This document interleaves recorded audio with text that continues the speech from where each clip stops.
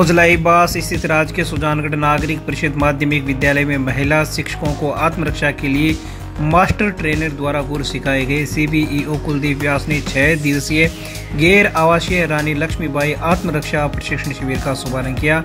शिविर में 103 सरकारी शिक्षिकाओं को मास्टर ट्रेनर पूनम कंवर, पूनम प्रजापत, उषा बजाड़, अंजू मीणा द्वारा आत्मरक्षा के गुर सिखाए गए। शिविर प्रभारी बलदेव ढाका ने बताया कि शिविर से पहले दिन योगा, प्राणायाम, कराटे आदि का अभ्यास भी करवाया गया। संदर्भ व्यक्ति कैलाश चीनिया द्वारा बाल अधिकारों एवं सुरक्षा तथा गुड एवं बेड टच के बारे में जानकारी दी गई। संस्था प्रधान रामावतार शर्मा ने आभार प्रकट किया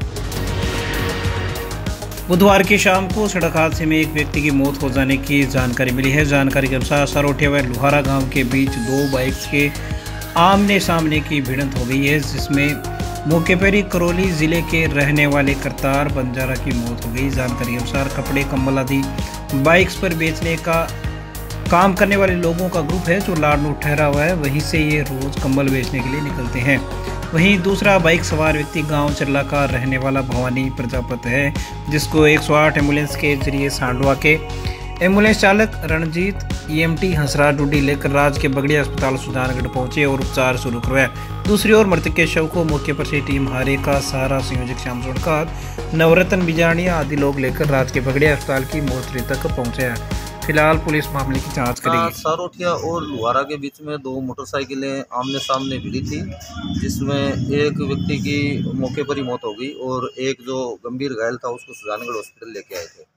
और जो जिसकी मौत हुई, उसका नाम है करतार पुत्र अभय सिंह, जाति बंजारा, उम्र पैंतालीस साल क्यारदा कला तहसील इंदौन जिला करौली का रहने वाला है।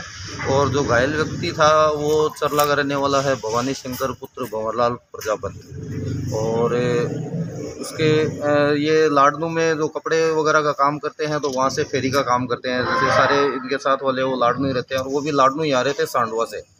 तो दोनों की ज़बरदस्त टक्कर हुई थी और टीम आरेगा सारा द्वारा ये एक शव को यहाँ पे लाया गया है और 108 से जो घायल था उसको लाया गया।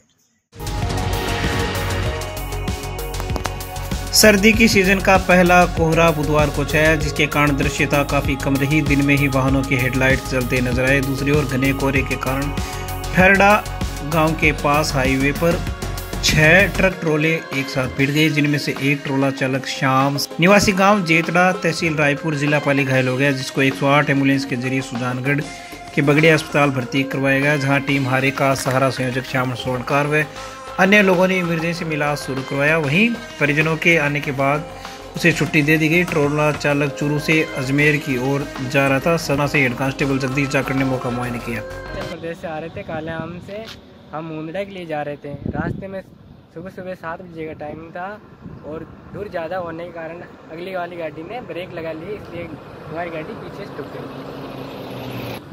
हमारी गाड़ी में शाम गटा चालक के ड्राइवर है वो ब्रेक